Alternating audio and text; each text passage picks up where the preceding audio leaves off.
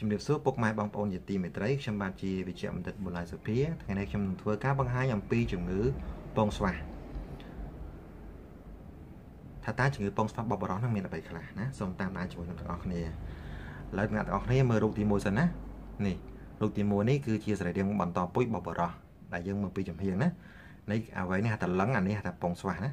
ហើយជំងឺនៅខាងក្រោមទាំងអស់នេះ ជំងឺទី1គេហៅថា testosterone ណារមួលពងស្វាស់ហ្នឹង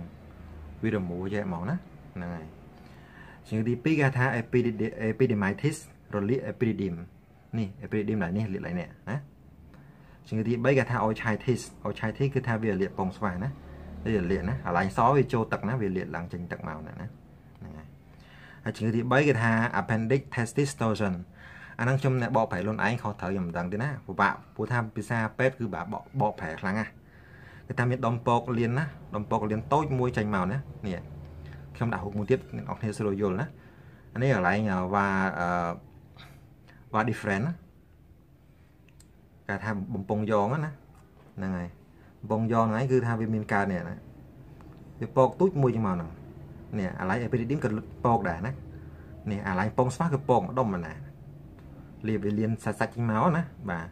ខាងក្រោមនេះវាទៀតនេះណាបាទចាំខ្ញុំឥឡូវជំងឺខាងក្រោមមួយទៀតគេថា testis ស្មាស់ហ្នឹងឯងវាមានដុំនៅក្នុងវាមានដុំនៅពងស្វាស់ហ្នឹងឯងអាចដុំធម្មតាឬក៏អាចដុំមហារីកណាដុំហ្នឹងហើយមួយទៀតគេហៅថា hydrocell ជំងឺ hydrocell ហ្នឹងឯងគឺថាវាមានទឹកដក់ក្នុងពងស្វាស់យើងហ្នឹងនេះសសទឹកហ្នឹងណាដក់វាមានទឹកច្រើនក្នុងពងស្វាស់ ហើយជំងឺមួយទៀតគេហៅថា spermatic cell spermatic cell មានគីវាគីសទឹក នៅលើ epididyme ណានេះឡើងនេះ epididyme គីសទឹកឯងហើយជំងឺមួយទៀតគេហៅថាអឺ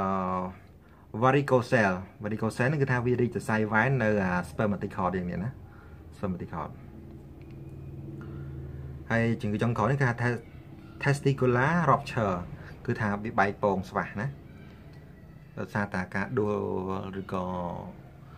គេវាយហ្នឹងកន្លែងហ្នឹងណាពេលច្រើនមកពីការដួលបាតុកិច្ចបានពីបែកណាហ្នឹងហើយហើយនេះវីដេអូនេះខ្ញុំគ្រាន់តែបង្ហាញពីជំងឺប៉ុណ្ណោះទេណាហើយចង់ដឹងលម្អិតពីជំងឺមួយមួយចូលទៅក្នុង description របស់ខ្ញុំខ្ញុំមានដាក់ចូលណាហ្នឹងហើយដាក់ម្ដងម្ដងមួយបាទអញ្ចឹងសូមអរគុណសម្រាប់ការតាមដានទស្សនាណាហើយកុំភ្លេចចុច Subscribe លើ Channel YouTube របស់ខ្ញុំផងបាទសូមអរគុណ